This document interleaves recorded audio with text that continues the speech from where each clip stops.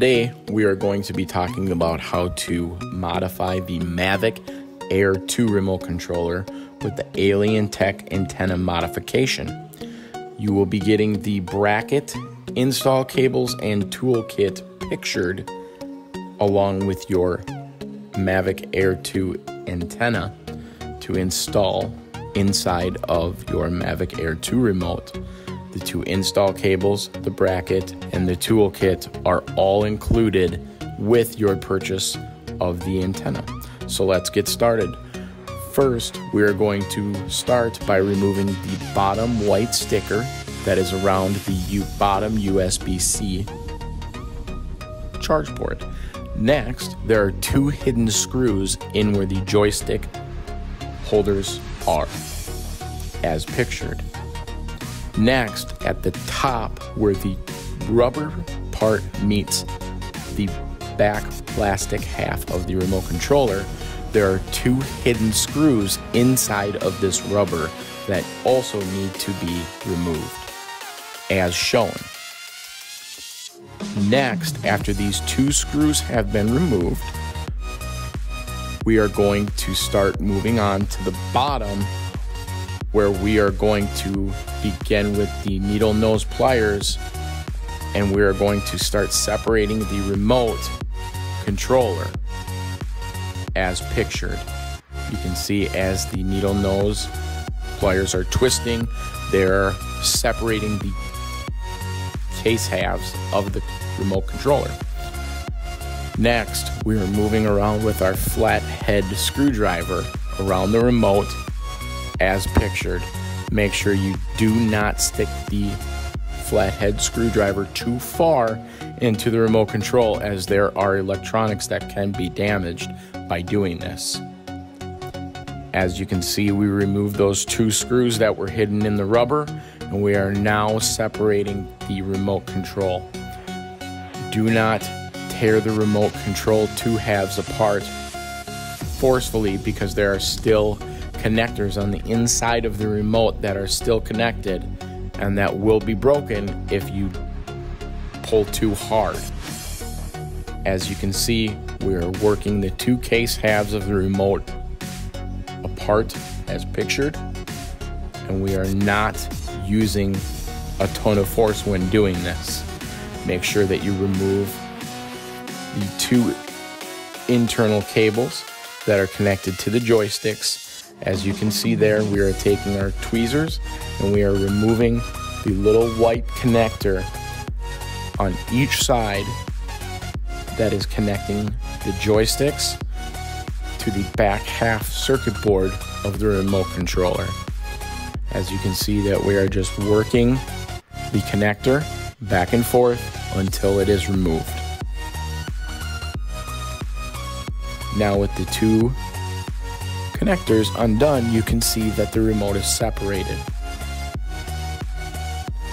As you can see, there are four screws in this metal shielding that will need to be removed.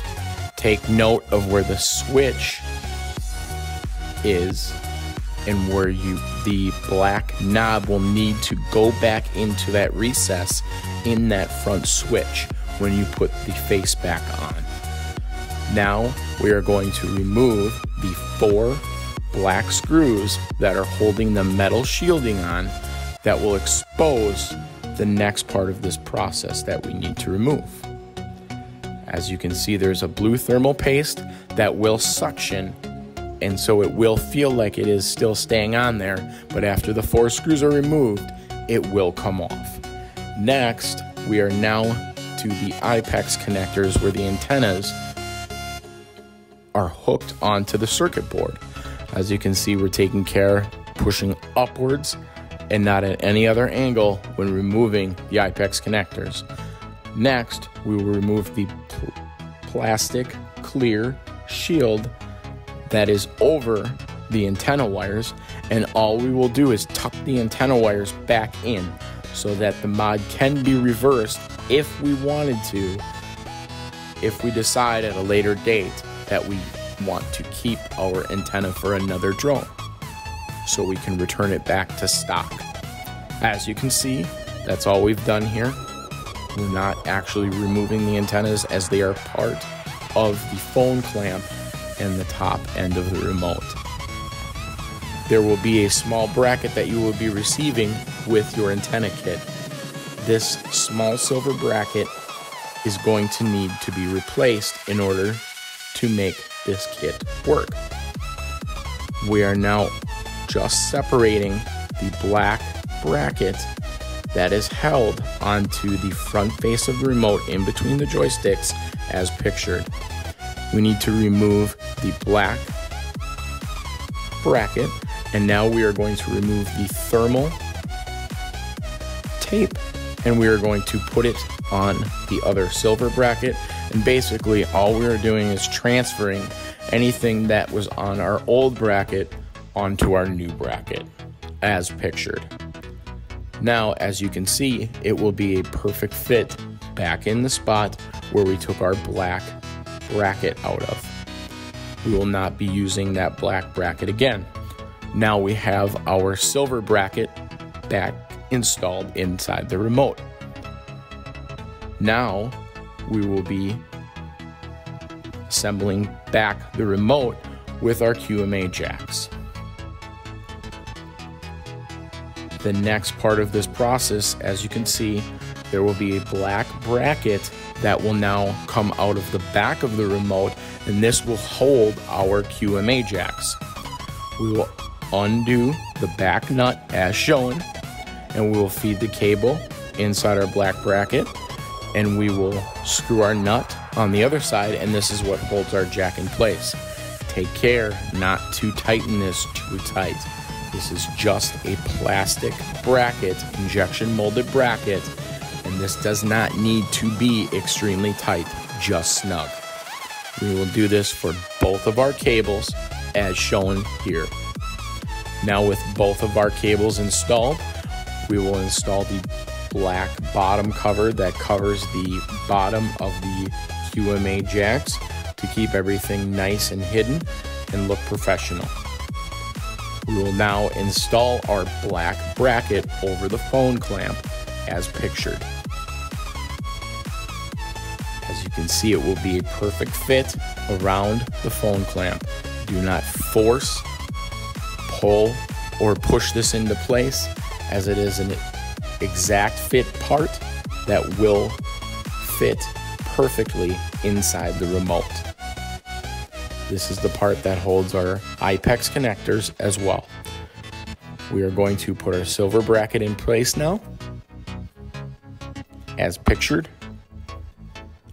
And you can see that now the two halves are starting to look like they are coming together as they should. Now, we need to make sure where our cables are going to be run. This is very, very key. As you can see, they are going to pass through the small opening in the silver bracket as shown here in the picture. This is very, very important that you feed these cables through that silver bracket, as if you do not, they will be pinched when you push the top half of the remote back together. As you can see, please take note of where we are also running the cables after they are leaving the silver bracket.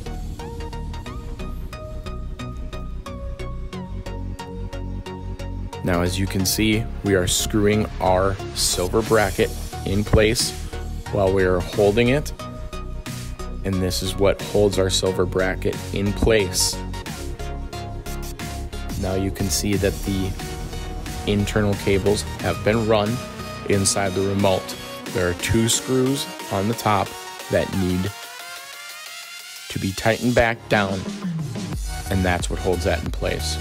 Now we are going to push our IPEX connectors onto the circuit board in the back half of the remote. Take care also in doing this as if you go on at any angle other than straight up and down, you will ruin the board and it will be damaged. As you can see, we are just taking the back end of our tweezers and we're pushing them on just like so. You will hear a snap when you get them correctly on. They will click, snap, etc. Now we will put our silver face plate back on with the four screws as pictured. This is our cover that covers the IPEX connectors. Now we have our silver connector and everything run inside the remote. We will now connect our joystick connections as shown. They can only go in one way. And so this is a very easy part to do. As you can see, we're just going to push them back into place and they will snap back in. Now that we have those connected back in, we're going to put the front face of the remote back on. Take key of where our switch is as there is only one notch in this switch where this will fit. If it's in the middle, it needs to stay in the middle as shown. As long as that is in the correct spot, our faceplate will snap back on just as shown perfectly. We will now insert back in our joystick holders as shown and we will finish snapping on the face and make sure that everything is snug and tight. We will now install the bottom cover that covers the QMA jacks on the bottom. And this will be screwed in with the supplied screws. And we will screw these in just like so. There will be two screws. Now we have our bottom cover in we are now going to install back in the two hidden screws in the joystick holder rubber as shown. We will now lift the top rubber up that exposed those hidden screws and we are now going to screw in those two screws as well. And these are the screws that are holding on the front face of the remote controller.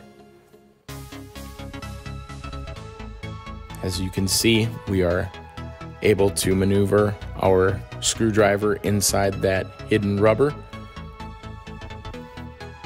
Now we will screw on the bottom portion of the bottom bracket that was covering our QMA jacks. Now that that is finished and we have our screws back in, we're going to make sure that everything is snug and tight, but not too tight as it is plastic. We're gonna make sure our switch works correctly and that our remote powers up. As you can see, it does. And now we are ready to install our Alientech antenna on the Mavic Air 2 remote as shown. Please take note of where the phone clamp is sitting. It also does not hinder or interfere with where that is sitting. And as you can see, the antenna is able to tilt and move and it pops off just like so. This will conclude our Mavic Air 2 remote controller install.